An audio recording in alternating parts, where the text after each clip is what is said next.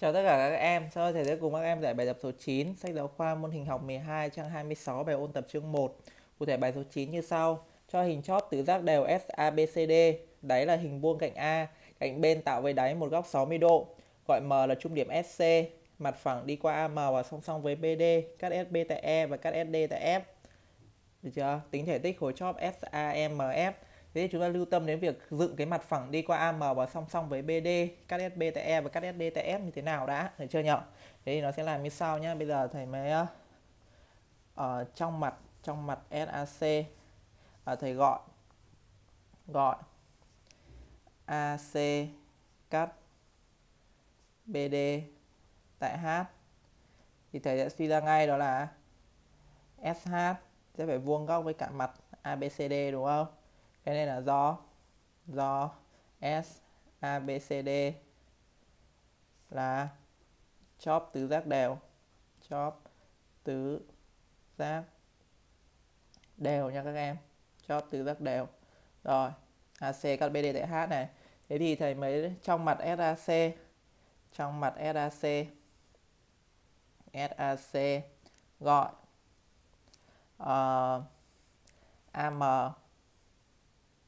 cắt SH tại Y được chưa? Thì uh, Y thì ta có Y sẽ nằm trong mặt SBD ngay đúng không? Sau đó chúng ta có là trong mặt SBD trong mặt SBD qua Y dựng đường dựng đường thẳng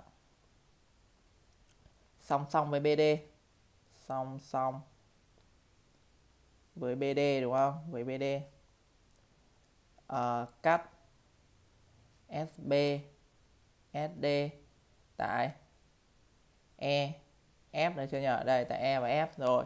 Thế chúng ta dựng xong rồi đúng không? Bây giờ chúng ta phải tính cái thể tích SAMF thế thì thầy sẽ lại tách thành hai cái khối chóp tam giác rồi chúng ta lại sử dụng định uh, cái bài tập về tỷ lệ liên quan đến khối chóp tam giác tỷ lệ thể tích liên quan đến khối chóp tam giác để chúng ta làm nhá.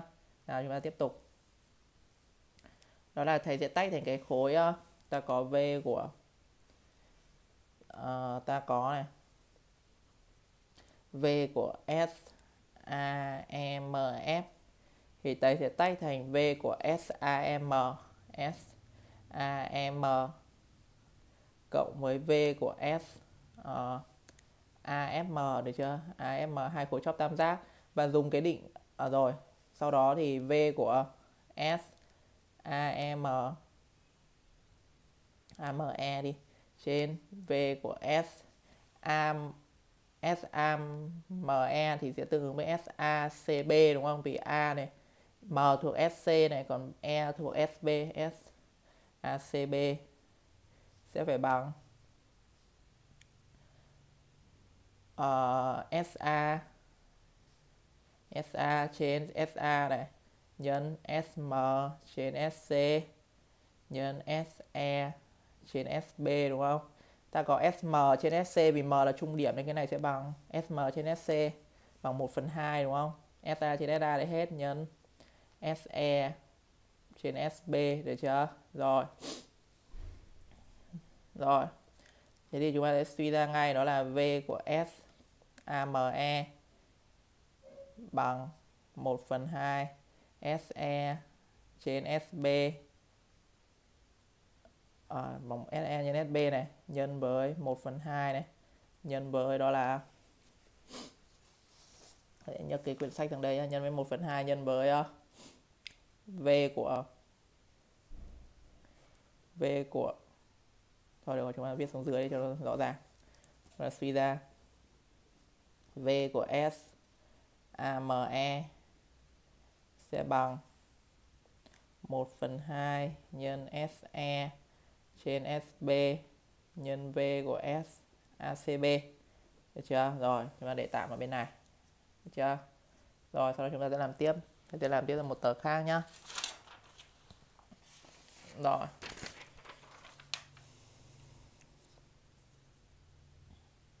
Tiếp theo thầy cũng sẽ lấy đó là V của S AFM trên V của S, V của S.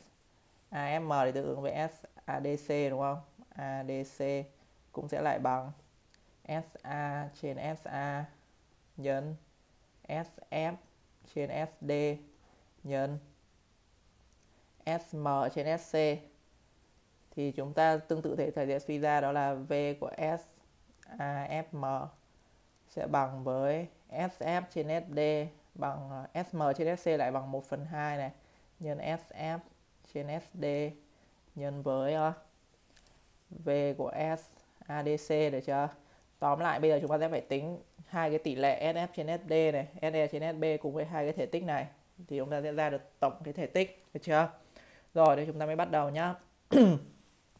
bây giờ chúng ta quan tâm một chút đến hai cái tỷ lệ SF trên FD và SE trên SB. Thì uh, chúng ta thấy là SF trên FD sẽ bằng SE trên SB bằng SI trên SH đúng không? Talet mà. Thì uh, chúng ta quan tâm một chút đến điểm Y, ta biết điểm Y sẽ là trọng tâm của tam giác SAC thì SI trên SH ngay lập tức bằng 2 phần 3 đúng không? Thì chúng ta cùng chứng minh nhé. Uh,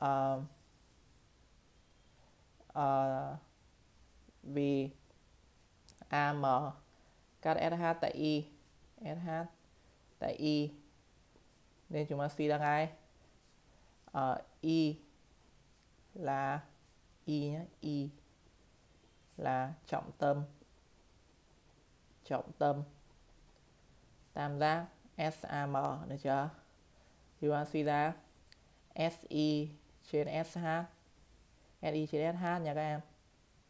Bằng 2 trên 3 2 trên 3 được chưa? Thì bây giờ thầy mới ờ, xét tam giác. Xét tam giác. SBD đó EF song song với BD theo talet theo talet trong hình phẳng ấy, theo talet. Thì ta sẽ có đó là SM trên SD bằng SI trên SH đúng không? Bằng 2 phần 3 và SE trên SB cũng bằng SI trên SH bằng 2 phần 3 được chưa? Được chưa? Tóm lại, chúng ta thay ngược vào các cái tỷ lệ đại này, chúng ta sẽ có vậy.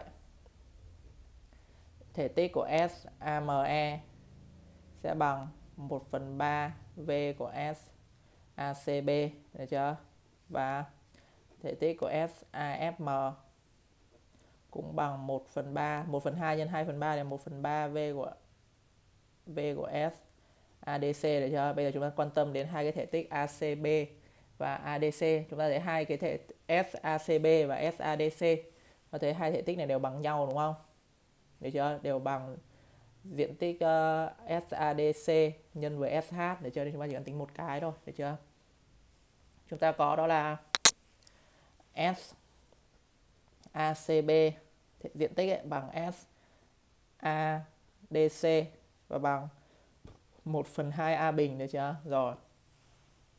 Tiếp theo chúng ta phải tính SH là xong. Tính SH thế thì ta có đó là chúng ta có cái gì? Đó là cạnh bên tạo về đáy một góc là 60 độ đúng không? Chúng ta chưa dùng cái giả thiết đấy. À, chúng ta có đó là SA tạo với đáy tạo với đáy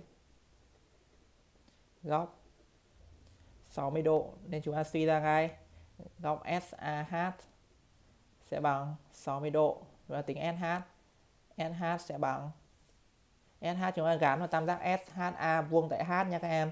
Thì SH sẽ bằng AH nhân với tan của SAH để chưa nhân với tan của SAH S, cái này thay số AH thì chính bằng AC chia đôi. AC là căn 2A căn 2 trên 2A đúng không? Đúng không? Tại vì AC thì bằng căn 2A mà. Theo định lý Pythagore AC sẽ bằng căn của AD bình cộng DC bình. Mà đây là hình vuông. Hai cạnh này đều bằng A, được chưa? Thì cái này là AC là căn 2A không chia đôi sẽ là căn 2 trên 2A nhân với tan 60 độ.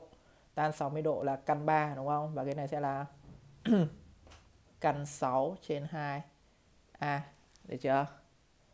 Đây nó là căn 6 trên 2A và tính xong SH rồi. Vậy chúng ta có vậy. V của S A M E à, S A C B. A C B sẽ bằng V của S A D C. A D C bằng 1 phần 3 nhân SH này nhân SACB nó thay số bằng 1 phần 3 này nhân SH là căn 6 trên 2A này nhân 1 phần 2A bình.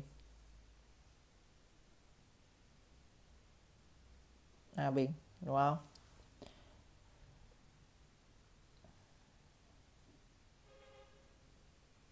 Rồi cái này sẽ là là viết bằng xuống dưới đi. Cái này sẽ bằng à, suy không viết bằng ở đây đi. Bằng đó là 3 nhân 2 là 6 6 2 12 căn 6 trên 12 a mũ 3 được chưa? Rồi chúng ta làm nốt phần cuối thôi. Vậy. Ừ, thầy sẽ làm sang một cái chỗ nữa đó nhá. Ờ, thì chúng ta suy ra. Suy ra. Suy ra đó là um, S AM không thể tích của S AME sẽ bằng thể tích của S à, AFM đúng không?